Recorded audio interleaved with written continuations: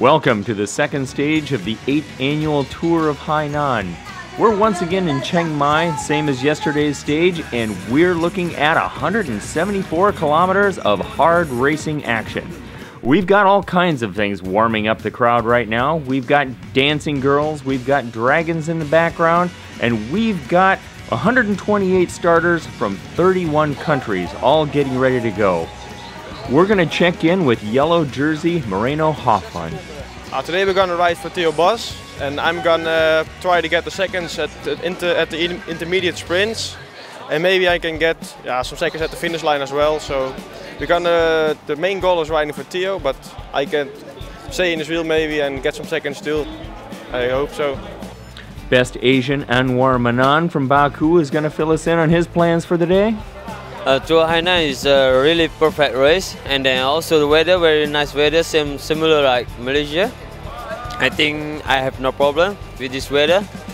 And uh, I've been to Hainan already four times. Uh, before I win two stage already in Tour Hainan.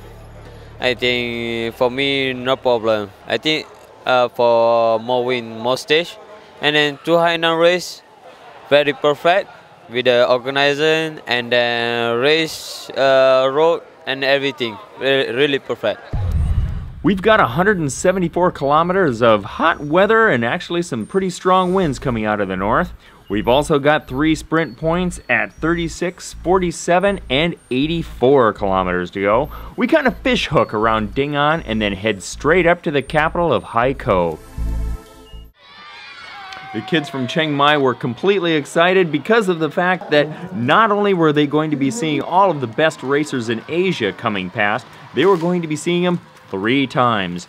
The race started off with three laps of 6.5 kilometers before they headed off to the Northlands. Climbs in town warming up the legs, that sprint started off with a bang 30 kilometers later. Coming across the line, we had yellow jersey Moreno Hofland. Second place from Belkin was Lars Boom, and Will Walker was taken up third for Drapac Cycling from Australia. The break continued driving on with the first 47 kilometers done in an hour. Brakes went off the front, but nobody was able to make anything stick. But yet, Belkin was still able to come to the fore in sprint number two, except for Fabian Schnaidt from Champion Systems spoiling the party. The yellow jersey took second, and once again, Will Walker from Drapac got third. After 60 kilometers of racing, we did have a breakaway roll off the front. Christopher Williams from Novo Nordisk, Elchin Asadov from Baku, and Chang Ching Wei from Hong Kong were off on their own. The heat started to take its toll, and Asadov ended up dropping off the back and then it was only Williams and Jing Wei that were on their way. Sprint number three came across the line with Kevin Williams from Novo Nordisk taking the win over Zhang Jingwei. However, Zhang Jingwei taking second place was able to move into the Best Asian Rider category, capturing the blue jersey. Third place was Kevin Peters from Kralin Euphony. Zhang Jingwei reached a maximum gap of 3 minutes 47 seconds in his 100 kilometer long breakaway and was caught in the last 15 kilometers. After the breakaway was absorbed, Belkin and Baku went to the front, but it wasn't exactly the hottest pace on Earth, as local Hainan racer Cao Po ended up attacking off the front. In 3 kilometers, his maximum gap was 22 seconds, and he got caught with 9 kilometers to go.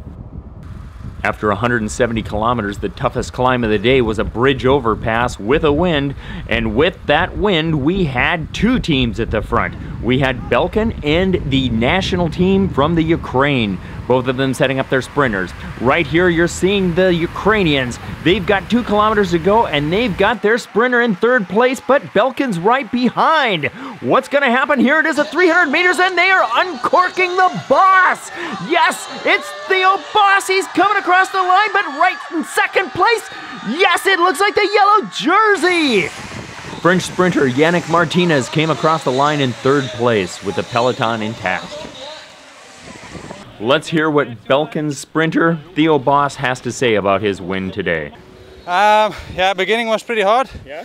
Because uh, yeah, we didn't want to make uh, any big groups uh, right away, mm -hmm. like it was yesterday. So we tried to control a little bit more, which is a bit more boring racing.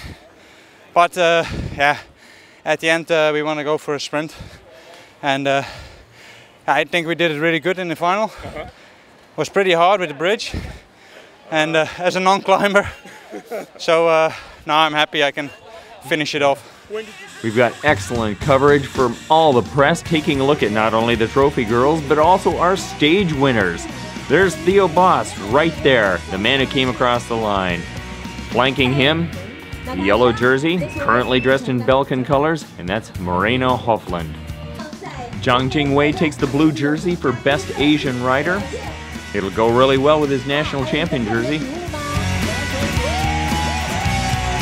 And here we have the sprint leader, Moreno Hofland.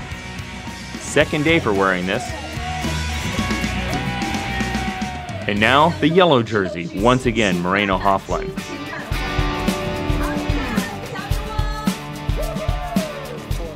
On the second day, the GC is still unchanged with Moreno Hofland in first, but Fredrik Morrison is only 27 seconds back with Thomas Laser in third, another 10 back.